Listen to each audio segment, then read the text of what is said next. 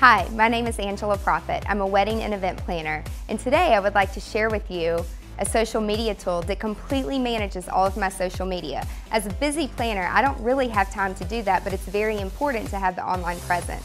The average person spends more than three times on Facebook than they do on any other website.